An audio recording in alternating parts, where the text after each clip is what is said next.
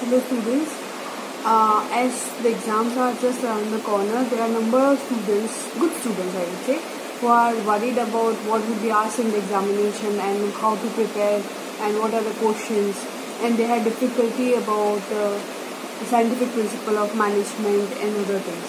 So uh, today I am making a revision video of your chapter number 1. I will start from introduction till you can say scientific principle. For Henry Fayol's 14 principle, I will make one more video. I want all of you to watch that video. That will help you to revise with your chapter number 2. This chapter number 2 would have 50% weightage in your second this test because we are going to have two chapters. Questions, all the type of questions will be asked from this chapter. Consider that that MCQ 1 marker, 2 marker, 3 markers, 4 mark, 5 markers, not 4 markers. We don't have 4 markers that questions will be asked from this chapter. So you have to prepare all the type of questions. Uh, after this video, I will send a PDF of few important questions which are you can say repeatedly asked in the examination. All the examination, these questions are repeatedly asked. कहीं ना कहीं question आते हैं ठीक है सो so, और जो भी इम्पोर्टेंट है just stay with me in the video जहाँ जहाँ पर इम्पोर्टेंट पॉइंट्स हैं, मैं आपको बताऊँगी कि भाई ये पॉइंट इम्पोर्टेंट है, ये पूछा जाता है as I can say in your normal class में भी मैं जब एक्सप्लेन करती हूँ, तब मेरी हैबिट है क्या एक्सप्लेन तो use that you can say watch that video properly you get the idea keep pen and pencil with you अपना पेन और पेंसिल और नोटबुक साथ में रखिए और इम्पोर्टेंट पॉइंट्स नोट करते रहिए। All the best for your exam do well in your exams. Okay students, let us start with the doubt solving session of your chapter number 2. Number of students had number of doubts in this chapter. So today we are going to solve all the doubts. First doubt that was I was asked by number of students that how what would be asked from this chapter. So as per the board the questions which were asked which can be ask is one M C Q ठीक है? एक M C Q पूछ सकते हैं। One you can say two marks question ठीक है? And one would be your three marks question principles of management में से so total how many marks one M C Q one two marks question one three marks question total you can say six marks question will be asked from this chapter ठीक है?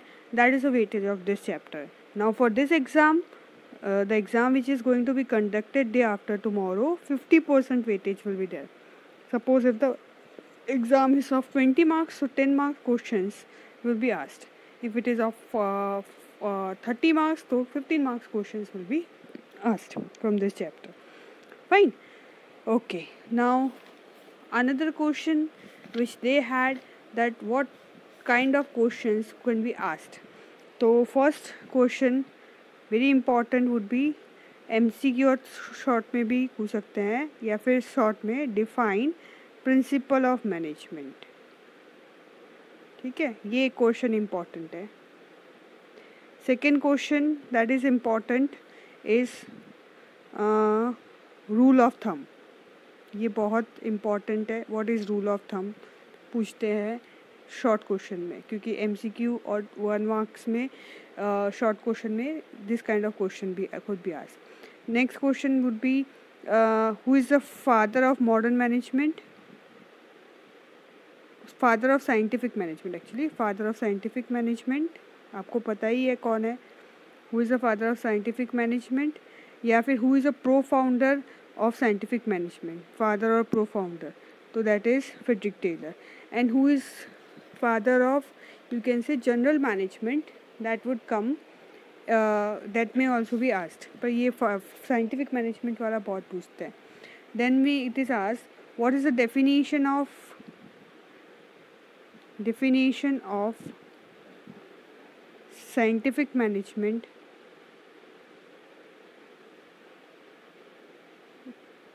by Frederick F. Taylor that is also one question very important आज in the examination ठीक है? उसके अलावा time study motion study what is time study what is motion study वो question भी chapter number two में से इंपॉर्टेंट है। ठीक है? Then most important three markers में या अगर इसमें तो फाइव मार्कर्स भी पूछेंगे। तो फाइव मार्कर्स में से दो ही क्वेश्चन आ सकते हैं। एक तो व्हाट इज़ साइंटिफिक मैनेजमेंट और define explain scientific management of F W Taylor ये फाइव मार्कर्स में आ सकता है। या फिर second question describe Henry sorry describe Henry Fayol's principle describe Henry Fayol's principles ठीक है? तो this are the important question for your examination board examination as well as you can say this test which will be conducted तो time and motion study के साथ में एक fatigue study वाला question भी इंपॉर्टेंट है। ठीक है? So this are the important question जो आपको आने ही चाहिए। ठीक है, इसमें से एटलीस्ट एक या दो क्वेश्चन तो आएँगे ही ओके सो ये इंपॉर्टेंट क्वेश्चन का एक इशू था जो अभी सॉल्व कर दिया।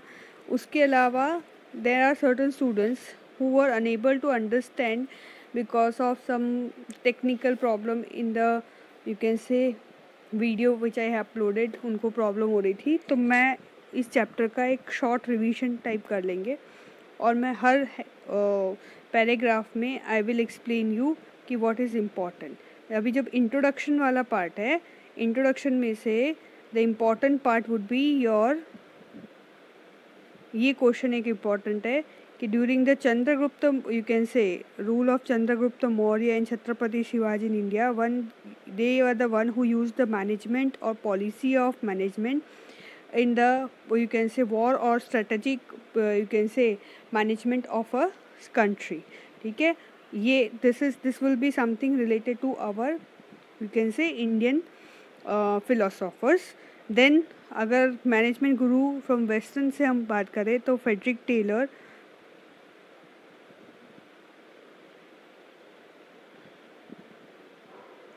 फेडरिक टेलर है। गिलब्रथ है, Max Weber, Chester Barnard, Peter F Drucker, C K Prahalad, they played an important role.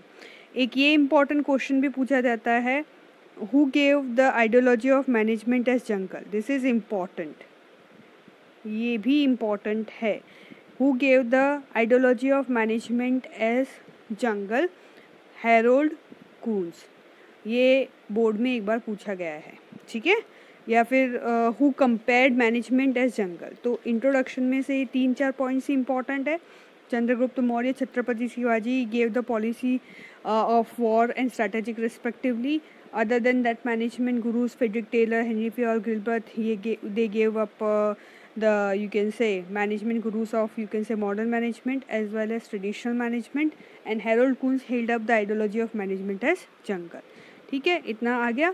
उसके बाद में we'll move on to the concept concept of principle of management अगर हम देखें तो what is principle of management it is uh, let us move further. I hope it is clear. Should I move? हाँ ये better आएगा. so uh, what is uh, you can say principles of management they are the sum of a substance of say it is only the sum and substance of the assumptions traditions and experiences Addition, uh, किसका experience of our management gurus like Henry Fayol, Frederick Taylor's है ना they are not rules It is only the sum of substance of assumptions. मतलब ये scientific pure scientific rules and regulations के जैसे नहीं है, जो हमारे एक्सपीरियंसेस है which has been proved correct in the practical situation ठीक है? That is what is your principles of management clear इतना समझ में आया? ये इतना इंपॉर्टेंट रहेगा। क्या है? अगर कोई पूछे प्रिंसिपल ऑफ़ मैनेजमेंट तो इतना आप लिखोगे तो you will get the marks clear then we'll move further ठीक है? कॉन्सेप्ट में है ही आपका। It is management is a combination of an art and science all this things we have studied in your chapter number one हम लोग ये सब पढ़ चुके हैं। तो we'll move further okay now in nature of principle of management again I did not find any one give asking me question किसी को इसमें कोई डिफ़िकल्टी नहीं है। तो I will just skip this part of your textbook now here students had problem thoughts of classical theory ठीक है? तो let's go to the classical theory now this classical theory is something which is came into existence हाँ शुरू हो गया। Sorry अच्छा. It is uh, you can say classical theory it is promoted from you can say beginning or 19th century beginning of the 19th century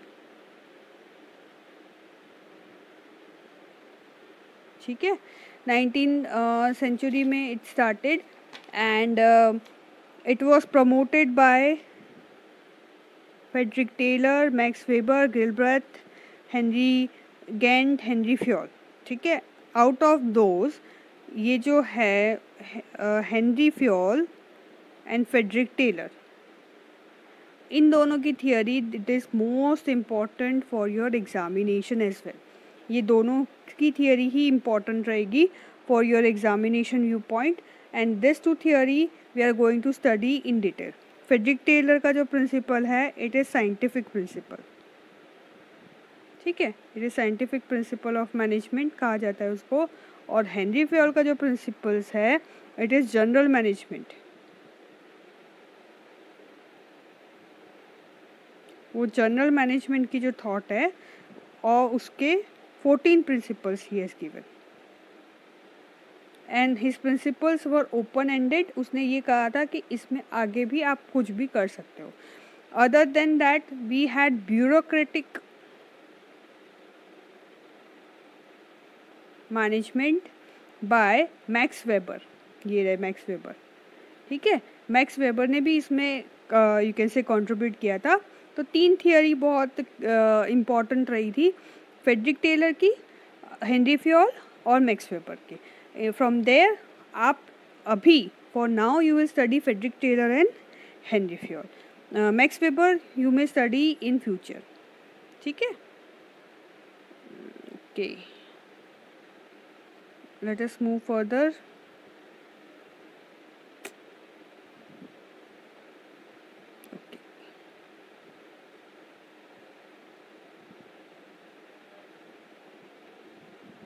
classical theory में और कोई कुछ चीज़ तो इम्पोर्टेंट हाँ. Basically classical theory it is meant for new methodology ठीक है? Scientific management general management इसके बारे में उसमें उसको इंक्लूड किया है। It is something related to method methodologies of doing work है ना? कैसे काम करना चाहिए उसके ऊपर था। Okay now we'll move on to the new classical theory अब new classical theory it came after twenty two thirty years तीस साल तक तो क्लासिकल थियरी इट वर्क फिर उसमें एक एडिशन हुआ of new classical theory which was promoted by started, you can say, in 20th century by Elton Mayo. He was a psychologist. Now, ये जो न्यू क्लासिकल थियोरी है ना is it is a second version of a classical theory और you can say addition यानी ये ऐसा नहीं बोल रहे कि क्लासिकल थियोरी गलत है. दे डिड नॉट से कि classical theory is wrong they only told कि भाई उसमें कुछ एडिशन की ज़रूरत है। जैसे कोई मैंने आपको लास्ट वीडियो में भी बोला था कि जैसे फॉर पहले एक मोबाइल आता है, फिर उसमें कुछ एडिशन करके उसका सेकेंड वर्जन निकालते हैं। तो new classical theory is a second version of your classical theory ठीक है? आपकी क्लासिकल थियोरी का सेकेंड वर्जन है। उसमें क्या इंक्लूड हुआ है? Classical theory plus classical theory की जो है you can say work fourteen principles और scientific principle plus human behaviour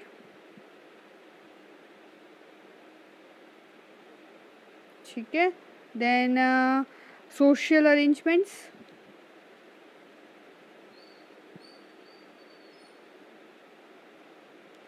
all this things were included और उसमें द मेन वर्ज आप लोग पढ़ोगे Maslow you study the theory of Maslow उसके अलावा Elton Mayo Herzberg Ray Likert Likert was also psychologist यानी यहाँ पर जो नियो क्लासिकल थियरी है ना it is classical theory plus psychology है ना? Which psychology human psychology that human relationships it, first method psycho classical its aim was to increase the first production. ठीक है? एंड सेकेंड थियरी ये neo classical का aim था job satisfaction किसका? Humans का. कि प्रोडक्शन तो लेना ही है production plus job satisfaction T I O N ओ ओ मेरी बैटरी डाउन हो गई है. ठीक है?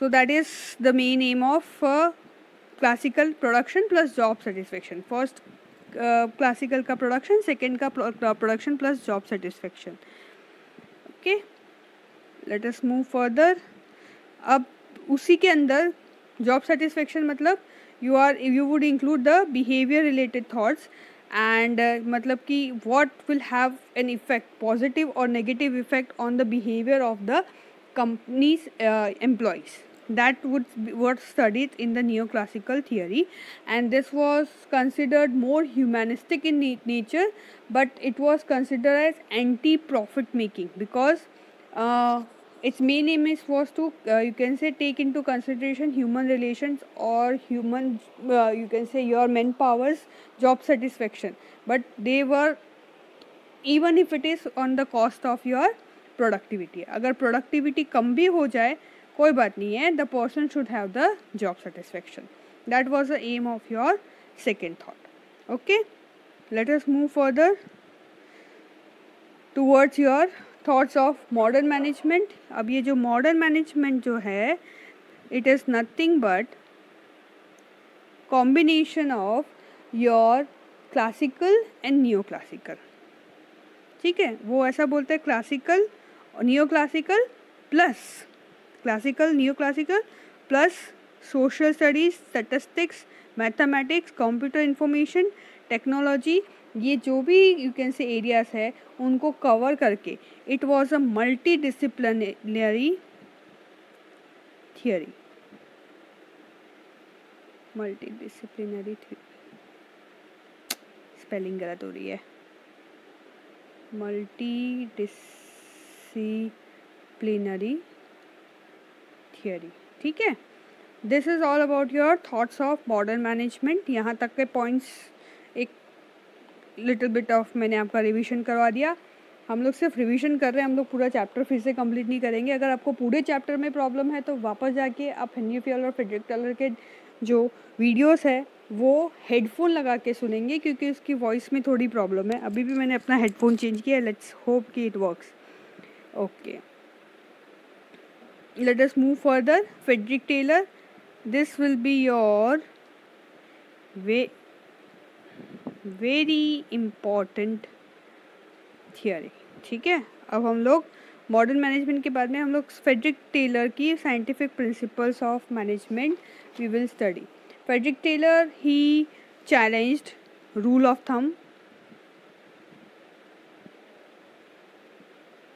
rule of thumb का मतलब क्या होता है? Autocracy where I what I say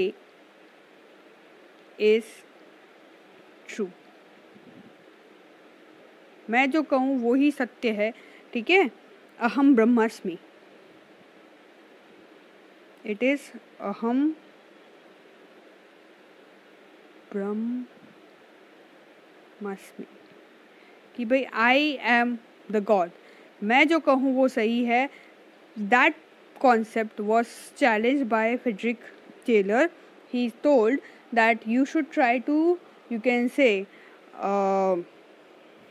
you can say remove this rule of thumb and apply the scientific principle of management he worked in the as a manager in bethlehem steel company he worked as a part-time man you can say manager over there at the time when he worked in Bethlehem Steel Company he was doing his engineering initially he did law पहले उन्होंने law किया law में उनको अच्छा मज़ा नहीं आया तो he went for mechanical engineering ठीक है he work as an apprentice in the factory and then became the you can say uh, engineer uh, sorry manager in the steel company.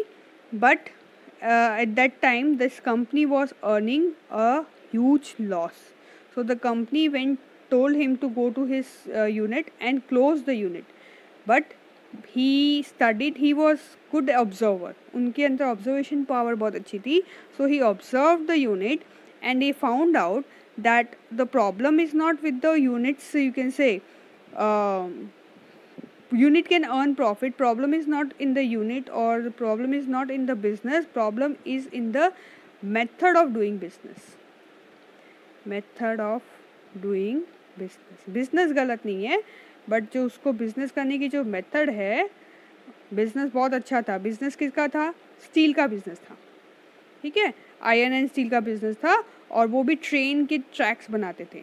They use to made train tracks पर वो train tracks का business bloom it could have bloomed if we are using the proper method so he told that we need to change the method okay कैसे करेंगे? Let us see first of all उसका definition this is also very important मैं already आपको बोल चुकी हूँ। ये जो डेफिनेशन है it is very very very important knowing exactly what you want your men to do and then do it in the best in the cheapest way that is your definition see battery जाने दो। ठीक है that is your definition of scientific management ठीक है? He project ये वाला भी एक इंपॉर्टेंट है. He presented the concept of scientific approach instead of rule of thumb which is known as scientific management scientific management क्या है? To deny the rule of thumb rule of thumb मतलब मैंने बोला ना, अहम ब्रह्मस्मी I am always right manager ने जो बोला, वो फाइनल ध्वनि ध्वनि ते कीधु फाइनल वैसे नहीं. Management should you can say not follow this rule of thumb they should follow the scientific management ठीक है? अब उसका प्रिंसिपल का साइंटिफिक प्रिंसिपल का मीनिंग क्या था? Knowing exactly what you want your men to do and then do it in the cheapest way मतलब पहले आपको ये देखना है कि आप अपने एम्प्लॉय से क्या करवाना चाहते हो। और फिर आपको वो काम सबसे सस्ते और सबसे अच्छे तरीके से करवाना है। ठीक है? And he wanted to have you can say higher and motivated reach rate more you work more you get less you work less you get अगर आप काम नहीं कर रहे हो तो you should not get the salary which was done in the traditional method घोड़े गधे एक जैसे थे। कोई काम कर रहा है, उसको भी सैलरी मिल रही है और कोई बुरा दिन कुछ नहीं कर रहा तो उसको भी सैलरी मिल रही है। तो he wanted to have the differential wage rate system more he work more the person work more he should get the salary ठीक है?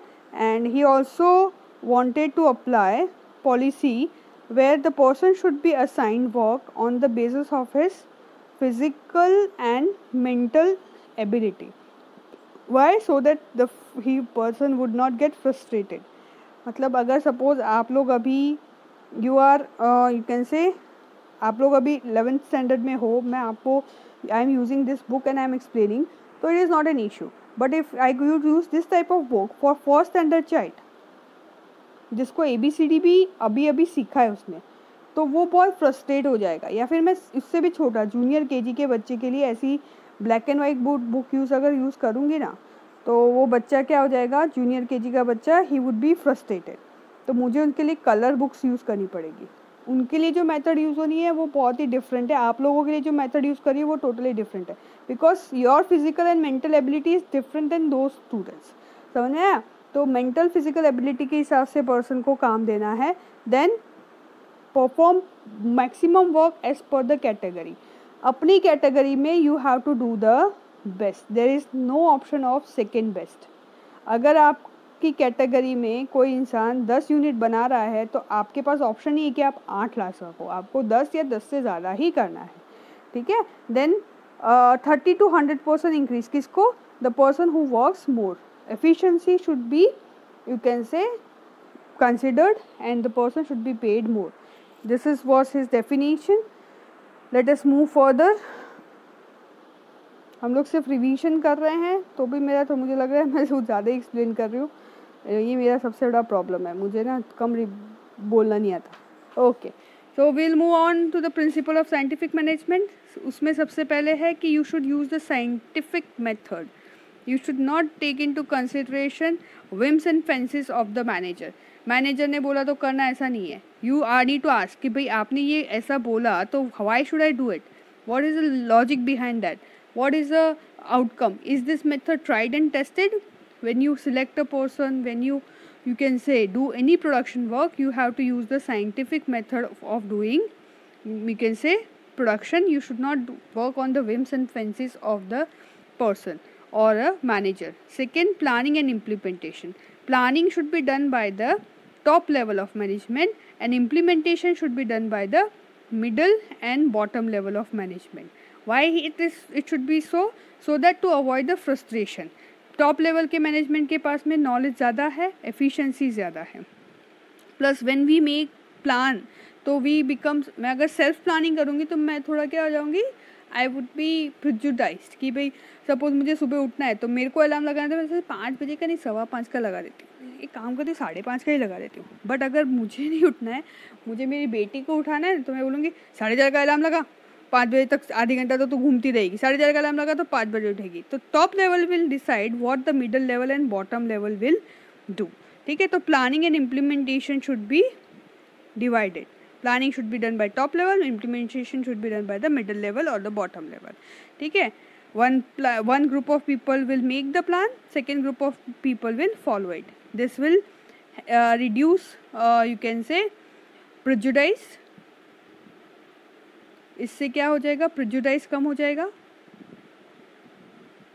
And chances of error reduces because plan करने वाला कौन है? The planner is a you can say expert of doing that work. So we get the experts benefit of experts knowledge so chances of error will reduce. Job analysis it can be done by three methods. Uh, you can say it was time study then motion study and fatigue study.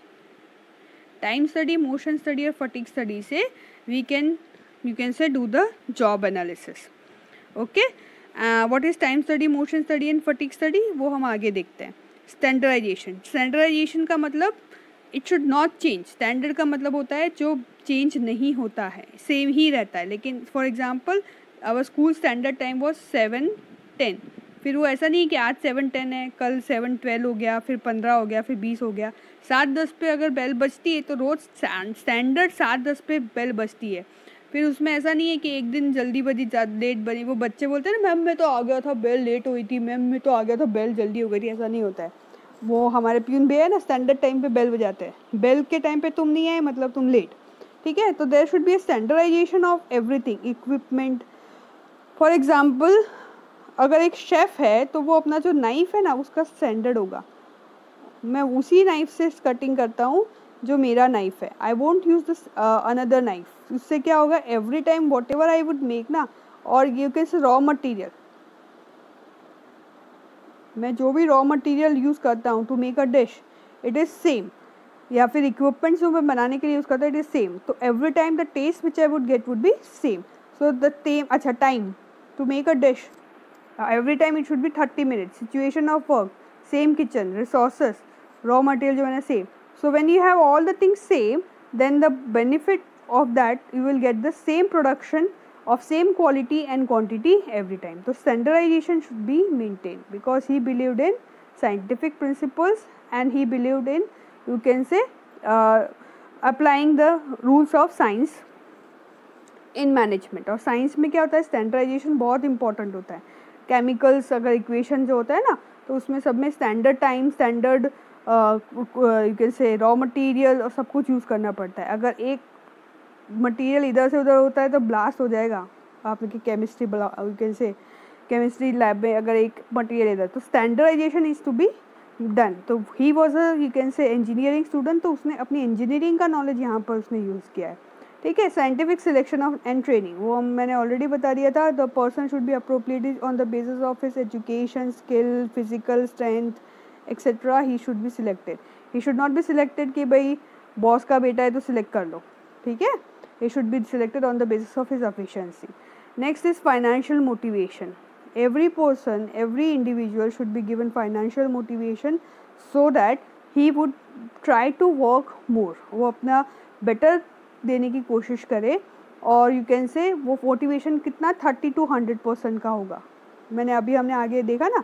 We saw in the you can say beginning of the chapter कि financial motivation और you can say more you work more you get less you work less you get वो होना ही चाहिए financial motivation for better work should be provide next is economical economical इसका definition itself says that you should do the work in the best but cheapest way आप की जो method इतनी महँगी नहीं होनी चाहिए कि आपका जो है ना कॉस्ट ऑफ़ प्रोडक्शन बढ़ जाए और फिर raw you can say I you won't be able to stand with the price which is determine in the market by your competitor so that should not happen you can say you should have a you can say economical method should be applied मतलब अगर suppose raw material को लेने के लिए अगर दो तीन option है ट्रेन बस और प्लेन तो what I would choose I would choose train थोड़ा फास्ट है बस से सेफ़ है और प्लेन क्या है? एक्सपेंसिव है। ठीक है? So whatever method you do use it should be economical in nature next would be your mental revolution mental revolution किसका होना चाहिए? Mental revolution of your employees and you can say owners mental revolution employees और owners दोनों का ही आ, करने की ज़रूरत है। Because employees they considered owners as their you can say enemy जैसे आपने हिंदी मूवीज़ में देखा है कि नौकरों को लगता है कि हमारा जो सेठ है वो हमारा खून चूसने के लिए ही बना हुआ है। He is just trying to get maximum work from us but he is not giving us us good salary and owners consider कि भाई हम लोगों की जो यू कैन से एम्प्लॉयज़ है they are just trying to steal my money वो मेरा पैसा चुराने की कोशिश कर रहे हैं they are not working so that should be remove they should consider them say both of them as their helper and coordinate with each other employee should be given good salary and owner should get you can say maximum work done from their employees employees को फिर काम करके देना है और ओनर्स को proper salary देनी है। तो mental revolution from both the side is needed okay let us move further so this is all about your principle of scientific management now techniques of scientific management we have already उसमें देखा था। Techniques में it is part of your this you can say point number three point number three का सब part है। Job analysis first is your time study time study में क्या करते हैं? You can say first we check कि what is the time required to book a certain task ठीक है? Then we consider it as a standard time and then we make it compulsory for everyone to finish the time you can say work in the prescribe time ठीक है? उसका proper supervision करेंगे. Why so as to make the optimum use of the you can say hour uh, of production ठीक है? हमारे जितने भी factors of production है लैंड लेबर कैपिटल एंटरप्रीनियर का मैक्सिमम यूटिलाइजेशन के लिए वी आर डूइंग इट ठीक है? That is your time study it saves our time and hour you can say time is money you all know पैसा आ जाएगा पर वक्त वापस आएगा नहीं. Next is your motion study time study का बेस्ट एग्ज़ाम्पल आप जैसे है uh, आप ऑनलाइन टीचिंग कर रहे हो? क्यों? क्योंकि ये टाइम वापस नहीं आएगा। बोर्ड का एग्ज़ाम एक साल हम वेस्ट नहीं कर सकते। कोरोना है या फिर कोरोना है, हमको तो पढ़ना ही है। ठीक है motion study person should not move from one place to another place you unnecessarily जैसे मैंने आपको एग्जांपल दिया था आपका कंप्यूटर लेक्चर का, कि जब भी आप लोग कंप्यूटर लेक्चर से आते हो तो you waste fifteen minutes of a teacher तो पन दस मिनट तीस मिनट के लेक्चर में से दस या पंद्रह मिनट तो बच्चे इधर उधर घूमने की वजह से लेक्चर्स में भी सो जाता है। ठीक है तो ये अननेसेसरी अनप्रोडक्टिव मूवमेंट मैन और मटेरियल का क्या होता है? इट इंक्रीज द फटीक है ना?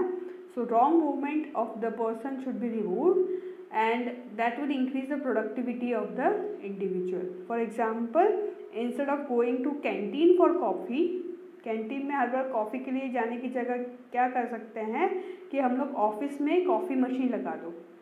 ऑफ़िस के अंदर कॉफ़ी मशीन लगा दो एक।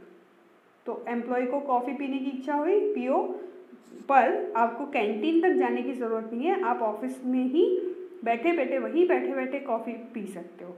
ठीक है? तो अनड्यू मोशन नहीं होगा और mistakes of the employees will be reduce इस तरह से मोशन स्टडी यानी कंपनी पागल नहीं है कि इतनी महँगी कॉफ़ी मशीन लगा के देगी आपको। बिकॉज़ दे वो don't want to have the and you motion next is your differential wage rate system as I told you if a person is working more और if a person is working good then he should be getting more salary and less efficient people should get the less salary ठीक है? So this is your differential wage rate system clear with this? This is all about your principle of Frederick Taylor. If you have any difficulty till this you may send me the message. After that I will post one more video for principle of Henry Ford because students had difficulty with that. Okay? So this is all about your uh, till Frederick Taylor. I want all of you to stay home and stay safe and there are certain good students I would uh, request all the students to tell me about this new method of uh, you can say delivering the lecture आपको ये नई method लगी अगर ये सही लगती है तो we will continue with this method okay goodbye for now students